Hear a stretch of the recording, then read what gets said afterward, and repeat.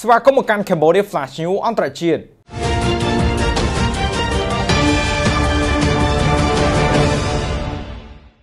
រុស្ស៊ីខឹងយ៉ាងខ្លាំងដោយសម្រេចបិទមិនឲ្យអ៊ុយក្រែននាំចេញធញ្ញជាតិទៅកាន់ទីផ្សារពិភពលោកតាមកិច្ចព្រមព្រៀងអង្គការសហប្រជាជាតិដោយចោទថាអ៊ុយក្រែនបានវាយប្រហារនាវាចរសមុទ្រខ្មៅរបស់ខ្លួន។ រដ្ឋាភិបាលទីក្រុងមូស្គូកាលពីថ្ងៃទី29ខែតុលាឆ្នាំ2022ថ្មីថ្មីនេះបានប្រកាសថានឹងបិទមិនឲ្យមានការនាំចេញធញ្ញជាតិអ៊ុយក្រែនតាមកំពង់ផែសមុទ្រខ្មៅទៅកាន់ទីផ្សារបរទេសទៀតឡើយបើទោះបីជាមានការដឹងឮពីអង្គការសហប្រជាជាតិក៏ដោយទីក្រុងមូស្គូនឹងមិនយោគយល់ឬគោរពតាមកិច្ចព្រមព្រៀងនាំចេញធញ្ញជាតិដែលបានចុះហត្ថលេខាជាមួយអគ្គលេខាធិការអង្គការសហប្រជាជាតិទួរគីនិងអ៊ុយក្រែនទេ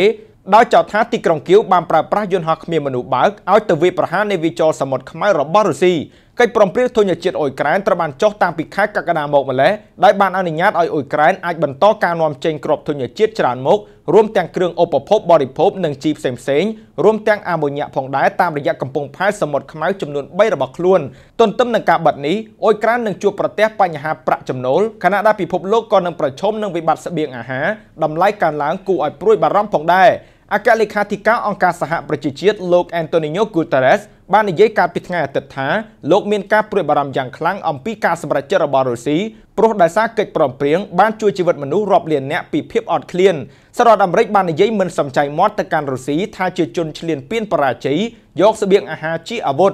យោងតាមរបាយការណ៍ក្រសួងហេដ្ឋារចនាសម្ព័ន្ធរបស់ប្រទេសអ៊ុយក្រែនគឺត្រឹមថ្ងៃអាទិត្យស្ថានភាពកប៉ាល់ចំនួន218គ្រឿងដែលពាក់ព័ន្ធនឹងការនាំចេញគ្រាប់ធញ្ញជាតិអ៊ុយក្រែនត្រូវបានរារាំងចំពេលដែលមានអស្ថិរភាពកោះតៃវ៉ាន់សហរដ្ឋអាមេរិកបានប្រកាសថានឹងដាក់ពង្រាយយន្តហោះទម្លាក់គ្រាប់បែក B52 ច្រើនគ្រឿងទៅកាន់មូលដ្ឋានទ័ពភាគខាងជើងប្រទេសអូស្ត្រាលី សារព័ត៌មានអូស្ត្រាលី ABC បានរាយការណ៍នៅថ្ងៃច័ន្ទទី31ខែតុលានេះថាសហរដ្ឋអាមេរិកពិតជាក្រុងនឹងដាក់ពង្រាយយន្តហោះទម្លាក់គ្រាប់បែក B52 ដែលមានសមត្ថភាពផ្ទុកគ្រាប់បែកនុយក្លេអ៊ែររហូតដល់6គ្រឿងទៅកាន់មូលដ្ឋានទ័ពអាកាសមួយនៅភាគខាងជើងប្រទេសអូស្ត្រាលីនៅក្នុងពេលឆាប់ៗនេះ។ គ្រឿងបរិក្ខារពិសេសសម្រាប់យន្តហោះទម្លាក់គ្រាប់បែកនឹងត្រូវដំឡើងនៅឯមូលដ្ឋានធីនដាល់ដាច់ស្រយាលរបស់កងទ័ពអាកាសអូស្ត្រាលីដែលមានចម្ងាយប្រហែល300គីឡូម៉ែត្រពីទីក្រុងដាវិននៃដែនដីភាគខាងជើងប្រទេសអូស្ត្រាលីយោងតាមសម្រងសម្ដីរបស់កងទ័ពអាកាសអាមេរិកការដាក់ពង្រាយគឺមានគោលបំណងផ្ញើសារទៅកាន់សត្រូវឲ្យដឹងច្បាស់ពីអនុភាពរបស់ទីក្រុង Washington ដឹងថាអាមេរិកមានកងអាកាសខ្លាំងនិងសាហាវប៉ុណ្ណា ឆ្លើយតបជាមួយគ្នានាយករដ្ឋមន្ត្រីអូស្ត្រាលីលោក Anthony Albanese បាននិយាយថាអូស្ត្រាលីនឹងចូលរួមជាមួយសហរដ្ឋអាមេរិកនៅក្នុងនាមជាសម្ព័ន្ធភាពការពារជាតិលើគ្រប់ពេលវេលា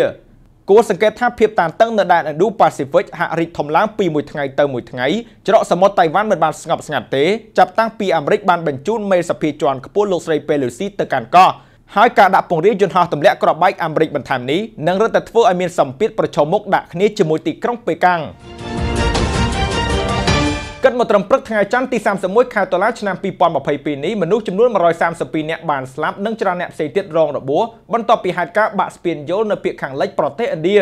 យោងតាមប្រព័ន្ធផ្សព្វផ្សាយក្នុងស្រុកឥណ្ឌាបានឲ្យដឹងថាហេតុការណ៍នេះបានកើតឡើងនៅឯស្ពានឆ្លងកាត់ទន្លេម៉ាជូនៅក្នុងទីក្រុងម៉ូប៊ីរដ្ឋហ្គូចារ៉ាតប៉ែកខាងលិចប្រទេសឥណ្ឌាកាលពីថ្ងៃអាទិត្យទី30ខែតុលាឆ្នាំ2022 គិតមកដល់ថ្ងៃច័ន្ទនេះមន្ត្រីនៅក្នុងតំបន់បាននិយាយថានៅក្នុងចំណោមមនុស្ស400នាក់ដែលបាននៅលើស្ពានមាន132នាក់ត្រូវបានបញ្ជាក់ថាស្លាប់ប៉ុន្តែអ្នកស្លាប់អាចកើនឡើងខណៈដែលប្រតិបត្តិការជួយសង្គ្រោះអ្នករបួសនៅមន្ទីរពេទ្យ ខ្សែអាត់វីដេអូប្រព័ន្ធផ្សព្វផ្សាយបានបង្ហាញឲ្យឃើញពីមនុស្សរាប់សិបនាក់កំពុងតោងខ្សែកាបស្ពានយោលឆ្លងកាត់ទន្លេម៉ាជូប្រវែងជាង200ម៉ែត្រខណៈដែលបំណែកនៃស្ពានបានដាច់រលំហើយក្រុមសង្គ្រោះបន្ទាន់កំពុងព្យាយាមជួយសង្គ្រោះយ៉ាងមមាញឹកយោងតាមនាយកប្រតិបត្តិនៃអាជ្ញាធរមូលដ្ឋានឥណ្ឌាបានឲ្យដឹងថាស្ពានដែលបានបាក់ខាងលើគឺមានអាយុ150ឆ្នាំហើយជាកន្លែងប្រវត្តិសាស្ត្រតាក់ទាញភ្ញៀវទេសចរតែរយៈពេល2ឆ្នាំចុងក្រោយនេះវាត្រូវបានបិទជាសាធារណៈដើម្បីជួសជុលព្រោះវាមានសភាពទ្រុឌទ្រោមខ្លាំង អ្នកម៉ៅការសំណង់មិនទាន់បានប្រកាសថាបើកឡើងវិញនោះទេអរគុណសម្រាប់ការតាមដាន Cambodia Flash News អន្តរជាតិ